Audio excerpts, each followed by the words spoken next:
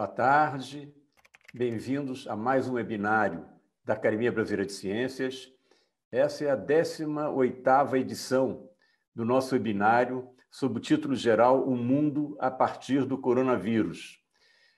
E hoje nós vamos falar sobre saúde e meio ambiente, poluição, saneamento e economia circular. E temos três grandes especialistas nesses temas o Paulo Saldiva, o José Galiza Tundizi e o Carlos Augusto Cherricaro. Eu vou pedir para o meu colega da diretoria da Academia Brasileira de, de, de Ciências, uh, o Chico Laurindo, para coordenar esse webinário. Muito obrigado a todos, é um prazer estar aqui coordenando esse webinário que já está se tornando tradicional primeiro palestrante, eu vou direto apresentar a todos. O primeiro palestrante será o professor Paulo Saldiva, ah, que é graduado em Medicina pela Universidade de São Paulo, doutor e professor titular do Departamento de Patologia da Faculdade de Medicina da Universidade de São Paulo. Ah, faz pesquisa nas áreas de anatomia patológica, fisiopatologia pulmonar, doenças respiratórias e saúde ambiental, ecologia aplicada Cidades e Saúde Humana, Humanidades e Antropologia Médica e é diretor do Instituto de Ensinos Avançados da USP desde abril de 2016. A seguir, nós teremos o prazer também de ouvir o professor José Galizia Tundizi, que é graduado em História Natural pela Universidade de São Paulo, mestre em Oceanografia na University of Southampton e doutor em Ciências Biológicas pela Universidade de São Paulo professor titular aposentado da Universidade de São Paulo e atua na pós-graduação da Universidade Federal de São Carlos. É presidente da Associação do Instituto Internacional de Ecologia e Gerenciamento Ambiental e pesquisador do IAP. E, finalmente, eu tenho o prazer também de apresentar o nosso último palestrante, que será o professor Carlos Augusto Chernicaro, que é graduado em Engenharia Civil pela Universidade Federal de Minas Gerais, mestre em Engenharia Sanitária pela Universidade Federal de Minas Gerais, doutor em Environmental Engineering pela University of Newcastle upon Tyne, tem pós-doutorado na University of New South Wales, na Austrália, trabalhou em empresas de consultoria no setor de saneamento desde 1991 e é professor e pesquisador lotado no Departamento de Engenharia Sanitária Ambiental da Escola de Engenharia da Universidade Federal de Minas Gerais, onde é professor titular.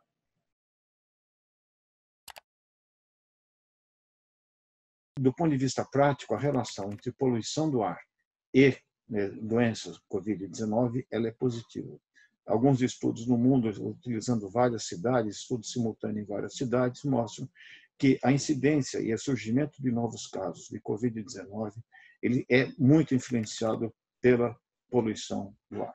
Ou seja, um aumento de um micrograma por metro cúbico de partículas na rua, no ambiente externo, com diâmetro inferior a 2 micrômetros e meio, aumenta 15% o risco de ter aumenta em 15% o risco de novos casos na América do Norte. Então você não sabe se a poluição é simplesmente está dizendo que está circulando o vírus, ou seja, existe maior, quanto maior a quantidade de partículas, contendo o, o Covid-19. É, significa que tem mais gente é, circulando com o vírus emitindo. Você não sabe se a poluição do ar, pela inflamação que ela causa, enfraquece as defesas do hospedeiro, fazendo com que o inóculo é, dado, quer dizer, o inóculo, para o mesmo inóculo é, de vírus, como você tem uma inflamação subclínica, isso enfraquece as defesas, então o teu risco de ter uma infecção com sintomas é maior, ou se de fato o, o, a poluição do ar funciona como um SEDEX, é uma, um, uma entrega mais registrada para as porções mais interiores do pulmão, porque o vírus tem uma massa pequena, mas quando ele se gruda numa partícula de aerossol maior, com uma massa maior, ele tem uma, um momento cinético maior e, consequentemente, chega às regiões mais profundas do pulmão. E a poluição também é autofinanciável a resolução dela. Para cada unidade de investimento, em média, que você usa para reduzir a poluição do ar, você ganha 3 de dinheiro. Se você fizer o raciocínio inverso, significa que você está subsidiando alternativas energéticas antigas e ultrapassadas ou metodologias de mobilidade ou industriais ultrapassadas com vidas humanas, o que não é defensável do ponto de vista. Você tá, não só está subsidiando com vidas humanas, e com dinheiro de todos. Toda cidade devia ter, na verdade, um laboratório de monitoramento do esgoto, porque a partir daí você pode identificar toda a saúde da população da cidade, com todas as com todos os problemas relacionados com doenças, as mais diversas doenças, as drogas também, que é uma coisa muito importante. Então, eu acho que é uma lição que nós aprendemos. Nós estamos fazendo aqui em São Carlos o Covid também no esgoto, mas nós estamos fazendo nas fábricas também, porque é muito importante você detectar a presença do Covid nos funcionários de hotéis, nos aeroportos, nas fábricas. Isso é um avanço considerável. Mas eu acho que um, um, um laboratório que pudesse fazer a identificação dessas doenças todas eh, na, na, resultantes da, da população, da saúde da população, você poderia gerar um índice de saúde pública a partir disso. E com isso você teria um outro indicador muito importante, que é o que nós precisamos também. Nós temos banco de dados, poucos bancos de dados da saúde, ou seja, eu trabalhei em lugares, por exemplo, que tinha água de poço contaminada. Altamira, por exemplo, no Pará só, só tinha abastecimento a partir de água de poço. E veja uma coisa, Altamira está na beira do rio Xingu, não usa água do rio tratada, usa poço, todos contaminados, muito poço contaminado. E daí, mas não tinha um registro na, nos hospitais, ah, um registro da, da contamina, da, do, da, das doenças relacionadas. E durante o ano todo, os hospitais estavam cheios de gente com doenças de veiculação hídrica gerada por esses, essas águas contaminadas. Então, veja como essa falta também de informação e a coleta sistemática de informações eh, deixa os municípios sem capacidade de ação técnica para poder resolver esses problemas. É um ponto que nós temos que trabalhar eh, e muito a partir dessas novas condições como resolver o problema do saneamento nas áreas que mais precisam, que é aquelas que eu mencionei. É, as áreas que mais precisam, a tecnologia mais cara de ser implantada, porque você não tem uma urbanização para permitir a instalação das tubulações né, de água, de esgoto, ou mesmo de um, de um caminhão para o transporte do lixo. Então, é muito mais caro, é mais complexo e, normalmente, a pessoa ali não pode pagar a tarifa. Então, como que é, o Planasa pensou isso no subsídio cruzado. Então, as empresas de saneamento, né, então elas eram superavitárias nos grandes centros urbanos e o superávit, ou a sobra que ela tinha, numa, por exemplo, em Belo Horizonte, ela poder, poderia compensar o déficit né, que ela teria numa região do interior do estado. Então, isso, isso é o, é o chamado subsídio cruzado. O setor privado, obviamente, por definição, né, ele vai objetivar o lucro. Né? Se ele tiver prejuízo, ele não vai querer. Então, a lógica natural é que sejam privatizados os sistemas maiores e superavitários. E esses, essas, essas localidades que têm menores é, índices de cobertura, que, que é mais é, que populações mais pobres, que não podem pagar pelo serviço, o serviço é mais caro, se ninguém vai querer privatizar. Então é importante que tenha um, um sistema né, de licitação em, em bloco, né? Oh, você quer pegar Belo Horizonte, mas você tem que pegar também tais cidades, mais ou menos como é feito na privatização de, de, de rodovias. Só que isso aí está na, na lei desse novo marco como uma uma sugestão, uma indução. Então isso não não está na lei que, que isso é obrigatório.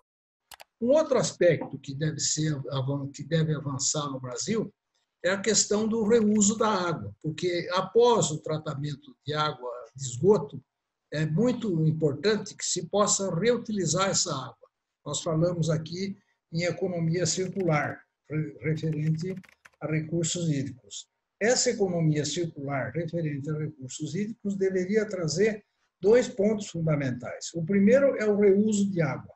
Nós ainda estamos longe no Brasil de ter um sistema adequado de reuso de água tratada, que poderia ser extremamente útil do ponto de vista de eh, se fazer fechar o ciclo de água das cidades, mas também do, do, ponto de vista econômico, até porque a água de reuso pode ser usada para várias finalidades. Se o sistema de tratamento for bastante eficiente, pode até ser usada para, para abastecimento público, como eu vi isso na Califórnia há alguns anos. De modo que é, é, na economia circular de água, reuso é um aspecto importante que tem também uma importância no saneamento. O, o problema não é cultural, o problema é financiamento e falta de, de visibilidade que a estação de tratamento de esgoto tem. O Brasil, ele durante muito tempo não considerou prioritário o abastecimento é, de esgoto e isso se reflete em indicadores muito pobres e a gente vê rapidamente, olha, não sei longe. Quando é, acaba a água no Sudeste, nas capitais do Sudeste, vamos pegar São Paulo, né? não tinha água. Aí se olhar por cima, a Billings estava cheia, o Rio Tietê estava cheio e o Rio Pinheiros estava cheio. E a cidade não tinha água. Água. Então, isso mostra que até a, a, a isso vai ser um argumento adicional para a segurança hídrica dos grandes uh, regiões metropolitanas, um tratamento adequado de esgoto, porque a água está imprópria para consumo. Embora ela esteja aqui, a gente contaminou com esgoto a água nossa. Então, é uma questão cultural. Pode mudar desde que exista uma campanha de conscientização e incentivos objetivos para a melhoria da população. Existe um, efeito na nossa área muito conhecida, não sei se de vocês, o efeito NIMBY, né? que quer dizer Not in my backyard. Né? Ninguém, todo mundo acha importante, mas ninguém quer ter uma estação de tratamento de esgoto ou um, um aterro sanitário próximo da sua casa. Mas é, o que dizer se, tiver, se for feito um trabalho né, com a população que vive próxima? Fala, olha, você faz um trabalho de conscientização, explica né, que você pode ter o completo controle de odores, esse é um problema que, que afugenta, né, que as pessoas não querem, porque acha que todo tratamento de esgoto ele gera odor.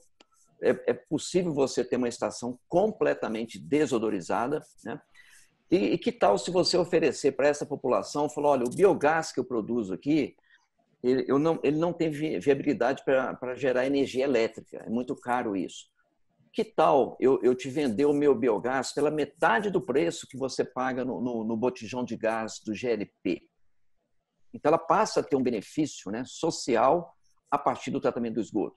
Que tal se eu te oferecer o lodo, o lodo de esgoto que tem nitrogênio, fósforo, e, e você é, é, impulsionar incentivar uma agricultura familiar no entorno da estação?